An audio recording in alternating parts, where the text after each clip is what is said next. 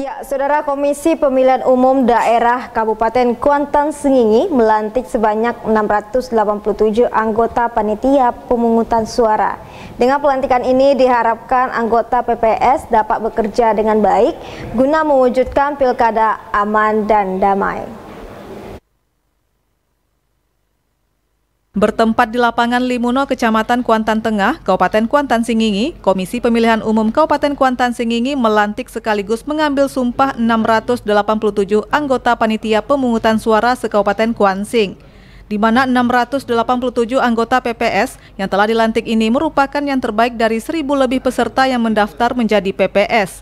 Dengan telah dilantiknya PPS sebagai penyelenggara diharapkan dapat menyukseskan pemilihan kepala daerah gubernur dan wakil gubernur serta bupati dan wakil bupati. Jadi itu begitu apresiasi kepada Pak Ketua yang sudah melakukan tugas pokoknya menyiapkan uh, infrastrukturnya sampai ke masyarakat.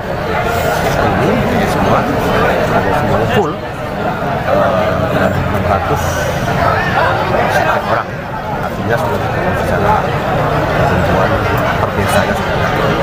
itu ya.